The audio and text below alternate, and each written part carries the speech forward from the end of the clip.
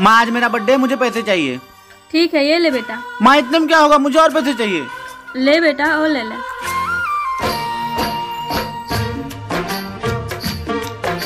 क्यों रे पूजा? तेरी सौतेली माँ तुझे खाने को नहीं देती है क्या दुबली पतली होती जा रही है? तेरा भाई तो बहुत मोटा होता जा रहा है। अपनी सौतेली माँ से बच कर ना नहीं तो जहर दे देगी।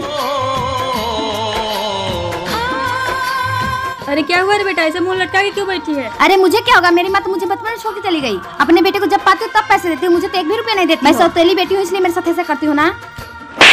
खबरदार जो अपने आप को कभी सौतेली बोला। मैं तुम दोनों के साथ कभी भेदभाव नहीं करती हूँ। जितना पैसा मैं अपने बड़े बेटों को देती हूँ उतना पैसा मैं छोटी बेटी के लिए बचा के रख देती हूँ। ये देख बेटा ये ले मैं तेरे हिस्से के पैसे यहाँ बचा के रखी हूँ। लेकिन आइंदा से कभी मुझे अपनी सौतेली माँ मत समझना।